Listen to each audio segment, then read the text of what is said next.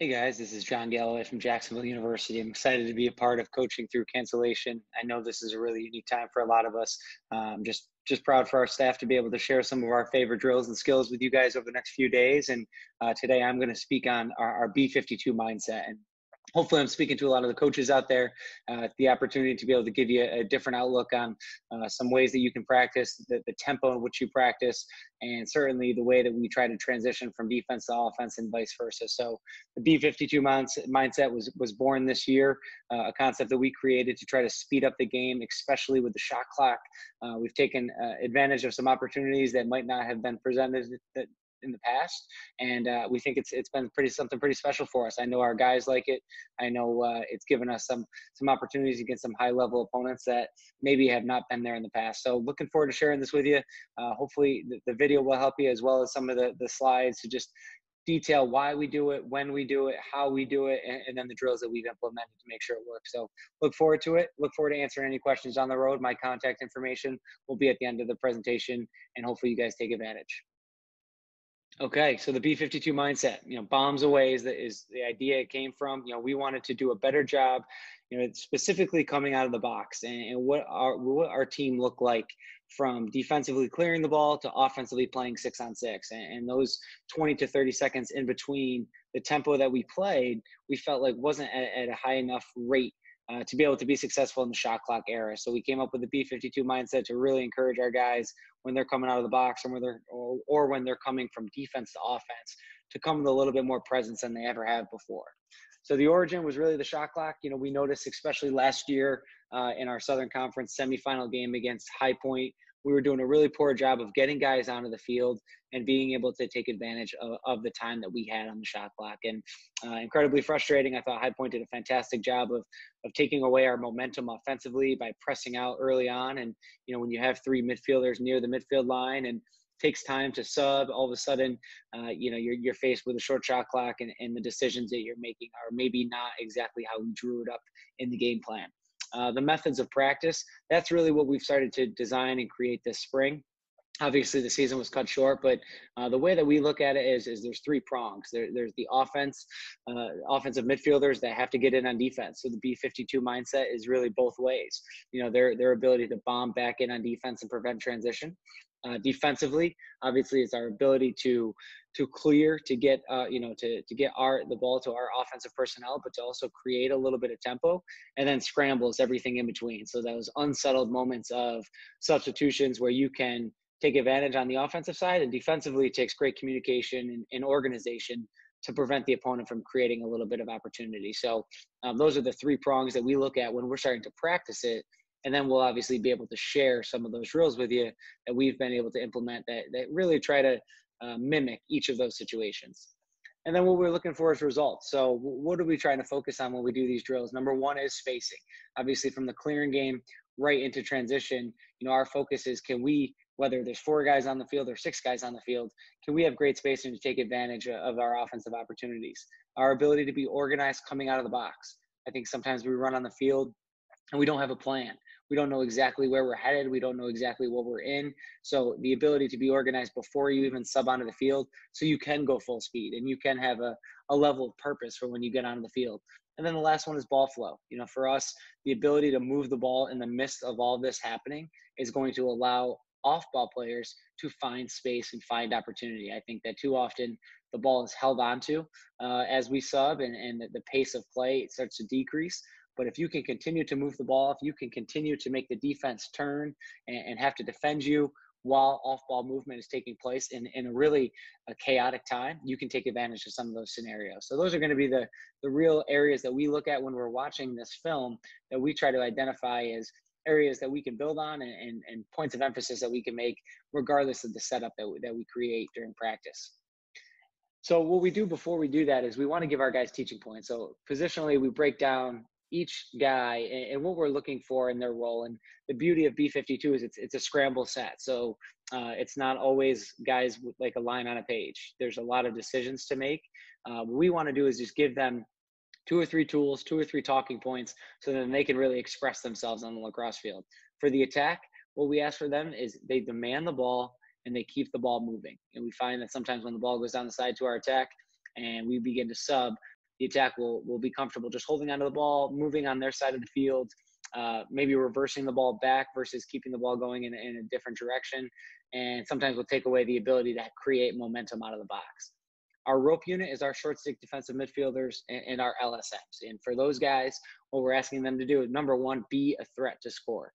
We have transition rules. Transition rule number one is to get covered. And that means that if nobody's in front of you, you are an offensive player. And for them off ball, it's their ability to run without it. So even if you don't have the ball, if you're not running the break, can you continue to be a threat to score, continue to have a talking head, continue to gas your cuts and create opportunities on the offensive end?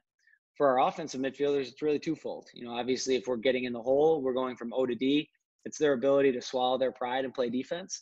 Uh, in B52, though, really what it was designed for was their excitement to come on the field on the offensive side of the field. So how hard they run onto the field, how much space that creates for the ball to continue to move above uh, above GLE, and and sometimes just provide them opportunities to score in transition. So uh, the B52 mindset was really created around the offensive midfielder attitude coming onto the field. And then the last piece, obviously, is defensively. Uh, what we look like in B52 on defense, how much how much communication that takes.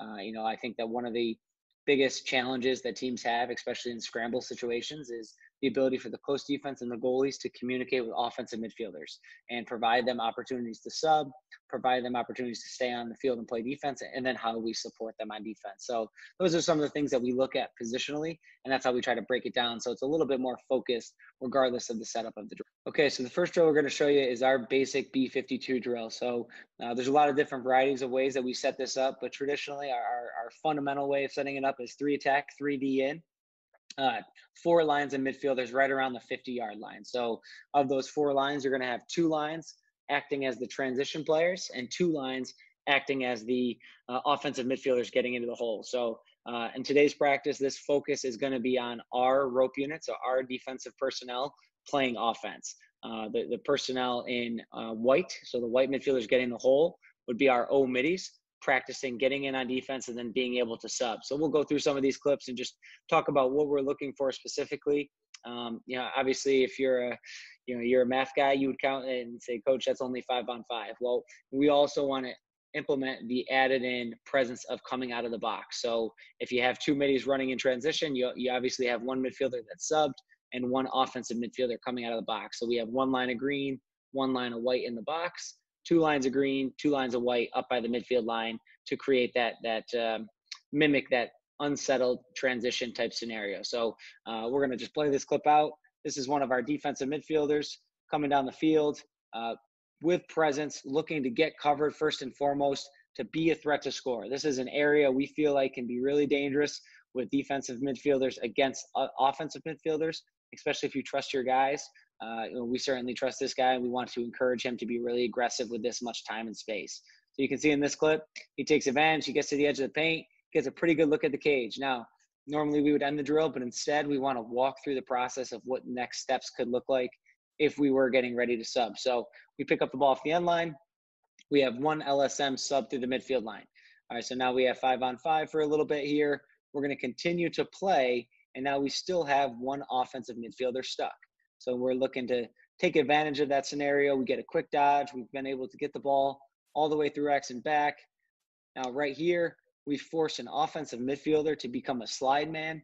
We've put our defensive midfielder in a basic offensive set to be able to create opportunities for himself. And as you can see in this clip, he takes full advantage of that. Steps into the ball, in and out of his stick, and sticks it near side high. So again, just being able to build on what that next phase of B52 would look like gives us a chance to, to give our D some, some responsibilities on the offensive side of the field. This is a little bit different of a scenario. Now we have an LSM coming down. Again, a lot of space. We've asked our attack to get wide and force this defenseman to make a decision. If he comes off, obviously we can step back into the ball. If he stays wide with you, and we've got the green light for our rope unit to be be a threat to score. This is one of our sophomore LSMs, good offensive minded player. All right, we've done a good job sneaking. Now we've gassed our cuts. Now I would say this is poor motion here. We have three guys on the crease. We did not do a great job balancing the field. We sub one LSM. And then this is a moment for us to be able to attack. You know, we are not we are not going to hold the ball here. We are not going to wait for us to sub on the field. We've created a little bit of confusion by creating what we call a gotcha situation. Our attackman recognizes that it's a one-on-one matchup. He takes advantage. He sees the back of the defense not prepared to slide, and he gets a decent look at the cage about five yards away from the goal. We'd like to see him stand his feet here and finish this thing in front, but uh, certainly a, a, good opportunity here to take advantage of uh, a little bit of an unsettled scenario.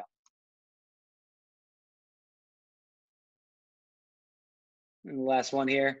See, we're coming down the field. Again, our LSM, a lot of space against an offensive midfielder, one man subbing. Attacks a little bit wide here, not reading his man, not, not stepping into the seams to be a threat to score, but the LSM clearly sees there's a lot of space. We're B52. We're attacking.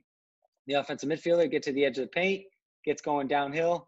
He's able to get a really good look off at the cage here, and obviously something that we certainly condone, uh, especially with that much time and space. Okay, so our, our next drill here is, is clearing to B52. So we actually start our personnel in on the defensive side.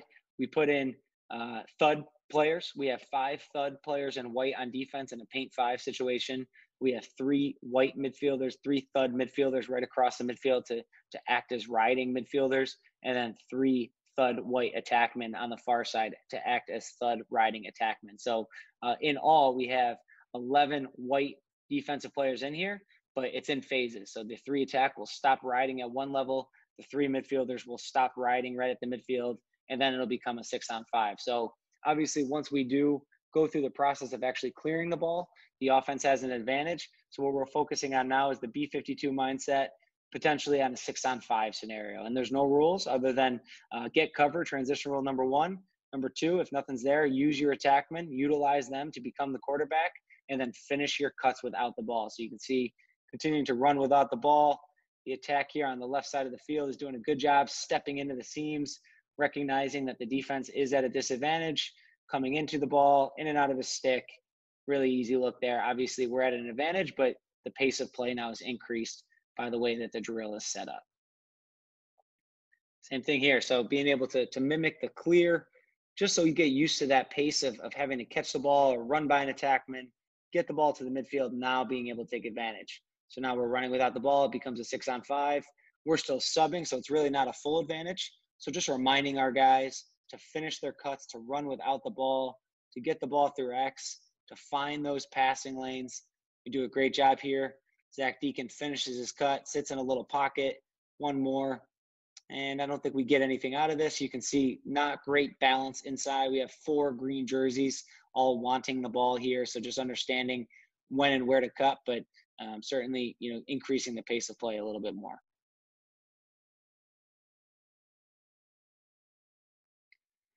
As we, I added this clip just to give you an idea. You know, again, midfielders sometimes have to catch the ball in these pressure areas, turn to the outside, and then make a play. So I just wanted to add this clip to just see why we do this drill. We, we put them in a situation to, to be under a little bit more duress initially and then to attack. You can see our LSM does a great job crashing. I don't know how much he's ready for the ball. We want to encourage him to, to be a threat to score. We get the ball through the attack. What's cool about this clip is the man that caught the ball initially at the midfield line, turned to the outside. He ends up the one at the end of the rainbow, finishing his cut. You can see he doesn't get too low, so he doesn't run out of real estate. He sits in that pocket, finds enough space, and takes advantage. Last one here for the clearing to B52. You can see again, our midfielder's forced to run by multiple bodies. Now he's in the six on five. Our LSMs acting as a threat to score on the crease. The two interior options do a great job of splitting the field, which opens up our through lane. Great job by our LSM, what we call a talking head to attract attention of the defense. And we're able to throw the ball through. And now we have a 10 yard time and room shot in between the pipes. I believe this rings off the pipe, but gives you an, a better idea of what we're looking for and how we're able to generate some of these offensive opportunities. Then what I wanted to do was just add two or three clips of a real game footage to see what this could look like uh, in a game. So this is our last game of the season. Uh, certainly did not go our way, but two or three opportunities here that we did create opportunities against Duke because of B52. This was obviously the best one. We clear the ball. You saw a very similar situation. You can see number 14 just comes out of the box. Normally we would just stay here and wait to receive the ball. Instead, Jeremy buys into the B52 mindset, sees the back of his defender, backdoor cuts him. not open early on. This we were actually man down in this scenario, so we only had five bodies. Jeremy knew that we gave him the free light to run without it. Evan Tyler does a great job finding a passing seam, throws it right through him, and now we have a 10 yard shot in between the pipes to be able to step in and put it away. Same thing here. We get the ball down the side. Now we get it through X. We run onto the field. Evan Tyler comes out of the box. You can see defensively, they're in the paint. They're settled. They're taking a breath here. This is when we can attack. So Evan sees an opportunity, a lane here to cut. B52 doesn't score on this, runs out of real estate, but you can see the opportunities that provide themselves. Maybe if he catches this and plants his outside foot and finishes in front, but it's still a good take. We like what we got out of it. I mean, it was a, a completely free take. Uh, I don't know if we want to shoot this at this point, but you can see some of the opportunities that it could provide. And then the last one, just wanted to add in a defensive one. So this is obviously a scramble situation. Ball comes out. You can see Jeremy Winston here has been coached well, says, you know what? B52, I just got a bomb in. I don't know what's going on with the ball, but I need to do a good job of preventing transition. They do a great job. All three of our O middies get in. Defensively, we communicate to them, and we're able to match up and then defend again. T2 Mounts, I hope that makes sense to you guys. We love to talk about it. We love to coach it. It allows our guys to play faster. I know our attack, it, it gives them the opportunity to have their hands free maybe more than they normally do and to be able to make decisions on their own. They are our quarterback, and we have some great athletes in between the lines that we trust. And this opportunity, this this mindset gives them an opportunity to have success on both sides of the field. So if you have any questions, there's my email. Would love to be able to answer them. Look forward to being part of this moving forward. I know our coaches are going to be adding some film as well. Can't wait to to be back on the field. But until then, thank you for everybody that's contributed to this. Stay safe, and hopefully we'll see you on the field soon.